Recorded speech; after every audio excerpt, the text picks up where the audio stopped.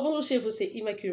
Pour le compte de Immaculée Light Access. Voilà, j'ai pas posté pendant deux jours, je me sentais pas très bien. Voilà, aujourd'hui c'est dimanche, j'ai dit en tout cas Seigneur, les deux dimanches passés, j'ai pas pu me rendre à l'église parce que je me sentais pas bien. Voilà, ce matin je suis en bonne santé, ma voix a repris et euh, je vais bien, je suis contente. En fait, c'est l'anniversaire de ma fille, donc euh, Quoi de meilleur qu'aller d'abord louer Dieu avant toute chose, avant le gâteau, avant la musique, avant de sortir, parce que elle est, euh, les gens qui lisent beaucoup, là, je sais pas comment on l'appelle, donc elle veut célébrer son anniversaire dans une bibliothèque. Je vais donc la conduire là-bas, on va y aller après, mais d'abord c'est Dieu, car euh, sans Jésus, sans Dieu, on n'est rien, nous-mêmes, on est vraiment nul. Spécialement, ça tombe un dimanche, c'est même une autre bénédiction au-dessus de, de sa naissance déjà, donc je suis vraiment de bonne humeur aujourd'hui. Je vais vous parler donc, oh n'oubliez pas, n'oubliez pas de d'aimer, de partager et de vous abonner sur notre chaîne YouTube Immaculée Light Access. Il a en sigle et I, en anglais pour plus de vidéos. En le faisant, cliquez sur la la cloche, la sonnette qui est à droite de votre écran pour des notifications ultérieures. Voilà, donc là, je suis devant vous pour vous parler de mon expérience avec la maternité. Oh, maman d'angaï. Quand on dit maman d'angaï, à ça veut dire, ça veut dire en français, ça veut dire ma maman. Maman nangaye. Comme les Italiens disent mamma mia. En lingala, on dit maman nangaye. Mon expérience avec la grossesse d'abord. Je venais, je rentrais d'un voyage d'Afrique du Sud sur Kinshasa. Un mois, deux mois après, non, un mois après, je commence à avoir des malaises. La fièvre, matin, midi, soir, la fièvre. Mais non, je suis une personne très active. À l'époque où j'allais à l'université, j'étais toujours accompagnée de mes copines. On avait plein de choses à faire. Vous savez, quand vous êtes jeune, là, on a plein d'énergie. Chaque jour, on est là. On sait que non, demain, je vais me réveiller à 5 heures, me laver et faire ceci, cela. Je vais rencontrer Françoise et Jolie. On va faire des courses en ville. On revient, on aura cours avec le professeur euh, Touaremba. Après le cours, on fera ceci et peut-être un trinquant un peu tout. Pas dans l'alcool, hein, parce que nous, on a grandi dans des, des sucres des, des coca, sucreries et tout et tout. Euh, ou soit aller faire un restaurant aller au restaurant et revenir. Donc c'était ça. Et puis après, j'ai commencé à développer donc ces fièvres à la maison. Mais euh, même quand j'étais même au Congo, je n'aimais pas boire euh, l'eau du robinet ou l'eau de, de, que ce soit. Je mettais toujours de l'argent. Je, je buvais l'eau, comment ça s'appelle? L'eau pure l'eau comme du genre Evian, Vitel, euh, de l'eau dans, dans, des bouteilles là. C'est qui coûtait vraiment cher à Kinshasa. Mais je m'arrangeais toujours pour avoir l'argent. Et dans ma famille, on savait que c'était mon eau préférée. Alors, j'avais ma petite surprise car à l'époque nous avions un restaurant, un restaurant familial je peux dire, mais ça appartenait vraiment à ma grande soeur Rita qui vit en France aujourd'hui. C'était son resto qui nous ramenait beaucoup beaucoup d'argent. Après l'université, après le campus, quand on avait peu de cours, on courait tous là-bas pour euh, tous euh, apporter notre assistance pour travailler, aider, peut-être en, préparant ou en servant les clients et tout. C'était un restaurant puis c'était un bureau de euh, de cambisme, je ne sais pas si le mot existe, cambiste, les gens qui changent l'argent là. Donc c'était un bureau de change en même temps.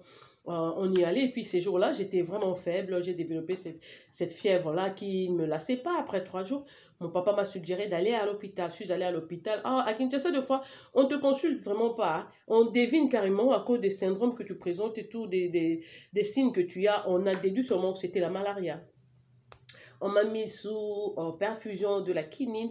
Et puis, c'est pendant la perfusion que j'ai senti un truc quitter comme du genre mon, mon estomac. C'est arrivé au niveau du vagin, là, ça a bloqué. J'ai dit, mais c'est quoi ça? J'ai appelé l'infirmière. J'ai dit, da, c'est une infirmière qui parlait swahili aussi. En swahili, quand c'est plus âgé, on a toujours da, et puis vous dites non, da Stéphanie, da Jeanne, da, c'est comme ça. Alors j'ai appelé la da qui était là, j'ai oublié son nom, ma grande soeur là. Elle est venue, j'ai dit, en tout cas, je crois que c'était seulement 20 minutes après la perfusion, j'ai senti un truc quitter mon estomac et descendre. Mais non, ça bloque mon vagin là. Je ne sais pas bouger. Ça fait tellement mal tout le bassin.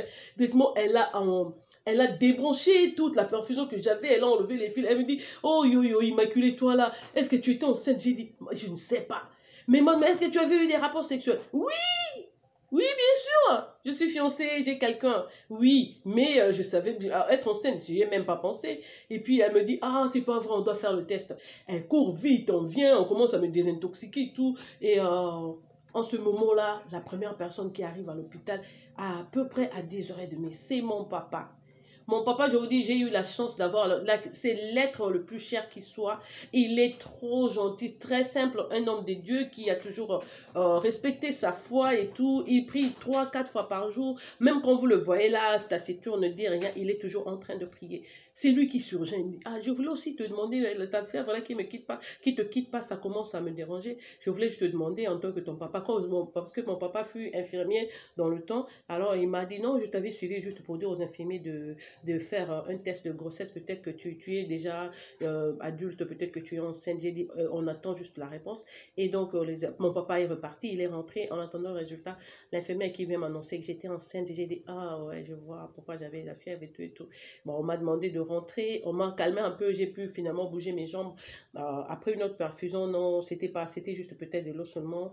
Et euh, je suis donc repartie à la maison et je vois ma tante, maman Godet, qui me demande Ah, Immaculée, comment tu as commencé à aller à l'hôpital lundi à jeudi? Et tu prends des, des, traitements, on te donne des produits, la fièvre ne te quitte pas. J'étais juste en train de réfléchir, peut-être que tu es enceinte. J'ai seulement regardé, j'ai souri, j'ai dit, Magodé, c'est seulement aujourd'hui tu me le dis. J'ai fait un clin d'œil pour lui dire que non, c'est positif. C'est seulement aujourd'hui qu'on a fait le test. Elle m'a embrassée, elle était très contente pour moi parce que j'étais déjà dans une relation avec le papa de mes enfants. Euh, il y avait donc six ans, mais je ne concevais pas. C'est pas que j'étais stérile ou quoi que ce soit. Non, on était dans la folie. C'était des voyages, les avions, les, beaches et tout et tout. Je vais à Mombasa, je vais ceci. J'ai connu cette vie-là. C'était de la joie, le bonheur et tout.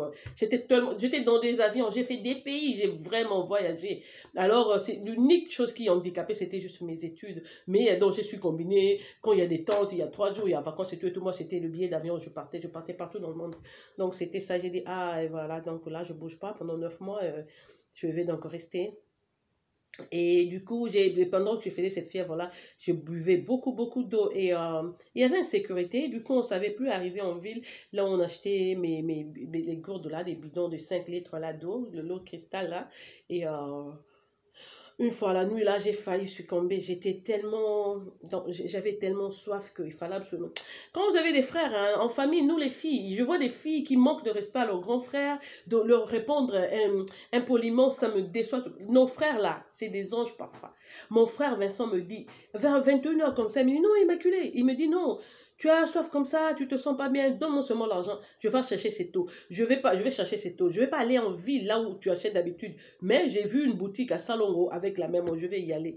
Je lui donne l'argent, le billet en dollars. Là, je sais pas comment, je me souviens que l'eau coûtait 15 dollars. Donc je lui ai donné. Mon frère est sorti, je crois 20 minutes après, le courant part et du coup, c'est la fusillade. En plein Kinshasa, les balles commencent à j'ai dit, oh mon Dieu, je vais perdre mon frère à cause de ma grossesse, à cause de mon égoïsme, je veux pas l'eau du robinet, je veux seulement l'eau pure, l'eau potable là qui, vient de la France là. Et voilà, mon frère maintenant a mis sa vie en danger. J'ai commencé à prier et à pleurer en même temps. On a eu tellement peur en famille. J'ai dit, oh, on a perdu Vincent, on a perdu Vincent. Non, personne ne pouvait aussi sortir. Je crois 20 ou 30 minutes après la fusillade, on a maintenant entendu les gens sur les rues, hein, les gens en train de courir, ils couraient, d'autres parlaient, se passaient des mots, ils partaient. C'était donc ça. C'était juste des bandits qui venaient d'attaquer un, un, cambiste qui est retourné chez lui avec beaucoup d'argent juste à l'entrée de sa maison. Là, on l'a attaqué, on a confisqué l'argent et on l'a grimacé en tirant des balles en l'air et tout. Mais c'était vraiment une guerre parce que dans notre quartier, dans le temps, avec l'insécurité qu'il y avait à Kinshasa, si une personne tire, vous devez aussi riposter, vous devez tirer comme ça. Ils savent que les gens de ce coin-là aussi sont armés. Si vous blaguez, ça sera la guerre. Vous allez perdre, nous aussi, on va perdre. C'était un peu ça. Mais c'était le calme. Alors, dans ce moment-là, il faut attendre seulement le matin. On est resté là en pleurant à la maison, on était très triste. Et à minuit, minuit comme ça, c'est mon frère qui sort avec de l'eau. Il a dit non, justement, j'étais exactement là où j'étais en train de tirer, mais je me suis caché sous les fleurs. Il y avait une parcelle là qui était clôturée en fleurs. Je me suis caché sous ces fleurs-là en entendant que ça termine à peu près une heure après. J'ai dit, ma partie de là, il fallait seulement revenir à la maison. Il dit non, je ne pouvais pas, parce que tous ces gens qui ont tiré, quand ils ont fini, ils ont pris la direction, ils descendaient donc vers notre quartier. Donc, du coup, il a choisi de, faire l'opposé, l'opposé qu'il a amené au quartier Salon pour aller donc dans cette alimentation-là me chercher de l'eau. Il a eu de l'eau. Il était quand même revenu, j'ai bu presque la moitié du bidon et après. Euh, j'ai donc le jour après, j'ai appelé le, le, le, le, monsieur qui m'avait engrossé pour lui dire que non, j'étais enceinte. Il était en Belgique, il était aussi content. Il me dit seulement, ah, tu vas pas accoucher là-bas, je, vais faire tout ce que je pourrais pour t'envoyer aux États-Unis. C'était ton souhait de, de, mettre au monde aux États-Unis. Euh. Mais il a dit, mais j'aimerais quand même te voir, je vais voir comment tu es enceinte, comment ça se passe et tout. Donc, il m'a envoyé en billet, je suis allée à Johannesburg, il a quitté la Belgique, il est venu, on s'est rencontrés là-bas, et puis je suis allée à Kinshasa parce que j'étais en troisième graduat, j'étais à l'université.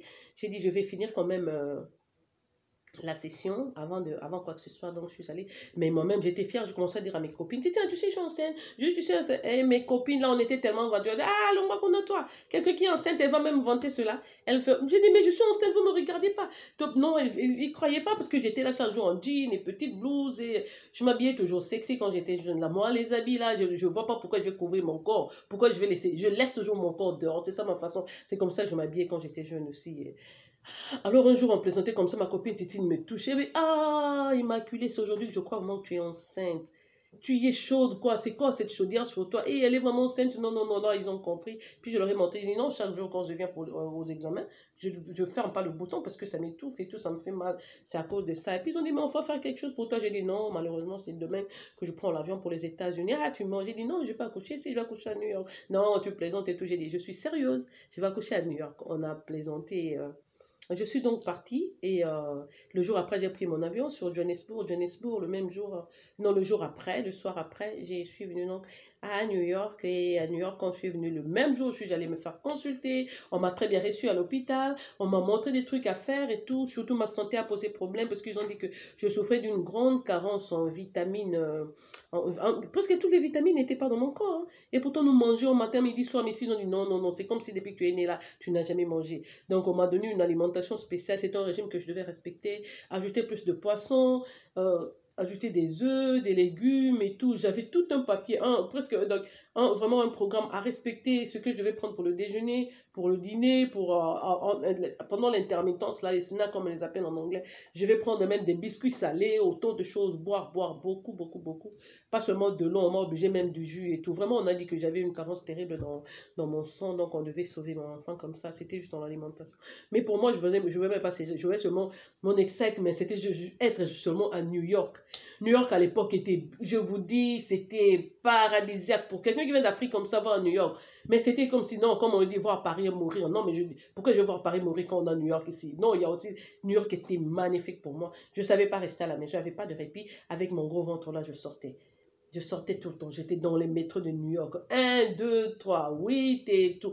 Je suis arrivée à New York, j'étais déjà euh, anglophone, je parlais déjà anglais parce que j'avais vécu, j'avais appris mon anglais à Nairobi, au Kenya. J'ai fait une école là-bas d'anglais.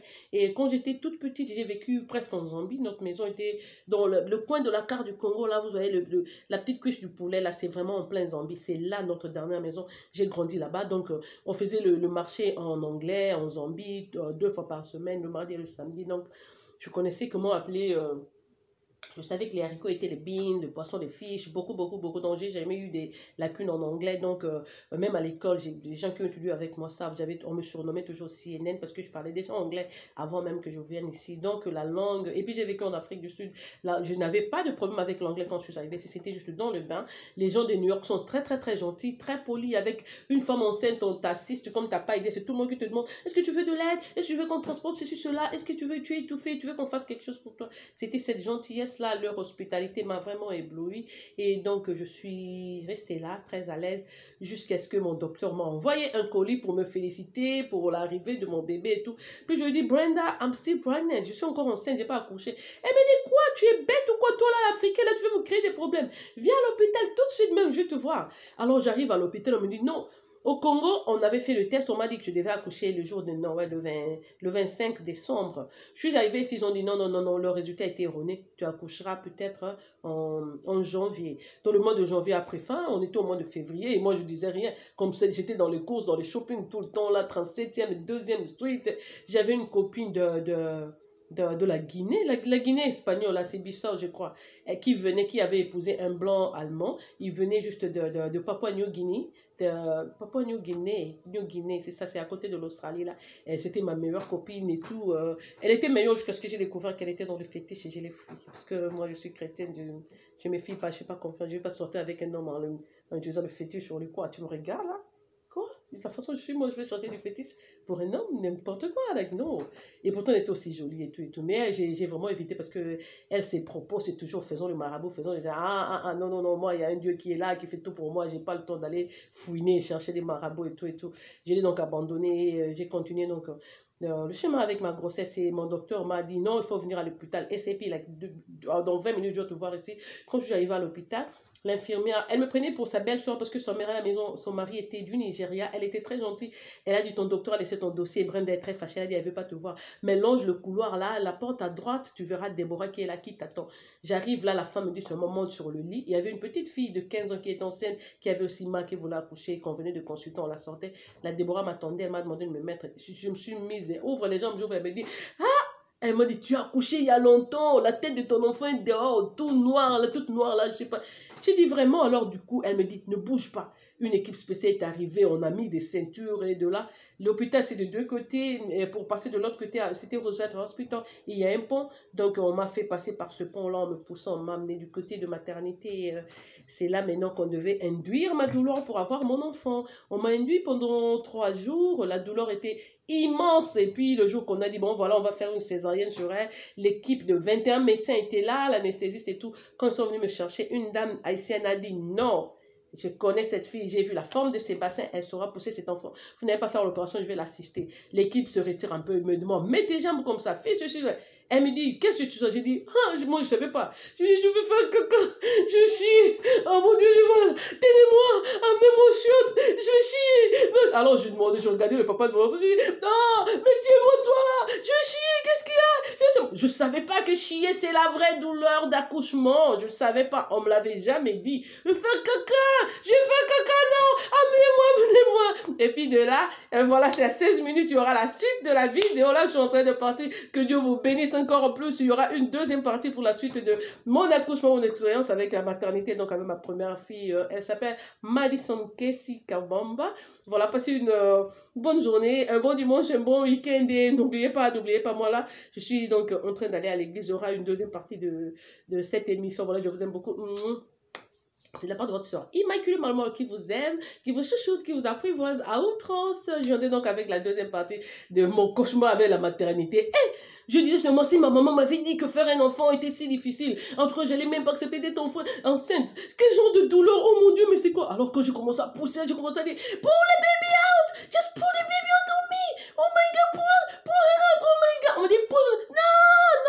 Non, non Et puis la dame m'a dit Fais comme si tu faisais entrer ta tête là. Si ça, ça va se couper n'importe quand, hein, ne vous en faites pas, je suis en train de continuer là, je, je, je continue. Je disais, poussez, tenez sur le bébé, tenez sur la tête. Ils ont dit, non, tu dois pousser jusqu'au niveau des épaules et puis on verra. Et puis, pouf, j'ai donc eu mon bébé. Naturellement, le bébé est sorti. Je l'ai regardé comme ça. Eh, parce que je ne savais pas le sexe, hein, je ne voulais pas savoir. Je n'ai pas, pas poussé ma curiosité au point de savoir quel bébé je vais avoir. Pour moi, c'était un bébé garçon, un bébé fille. Je vais aimer, c'est mon enfant. Donc, euh, c'était un peu ça. Puis j'ai vu, ah, elle ressemblait tellement à ma soeur Yvette. J'étais contente d'elle. Très jolie poupée. Donc, euh, j'ai été contente. Et euh, après ça, il y a eu une autre histoire pendant que j'étais à la maternité. Je crois que celle-ci sera dans, dans, la deuxième partie. Voilà, je suis à 17 minutes. Je fais souvent mes vidéos entre 13 et 14 minutes. Une fois de plus, passez donc un bon dimanche et que Dieu vous bénisse. Et je reviendrai donc avec la deuxième partie de cette vidéo. Au revoir.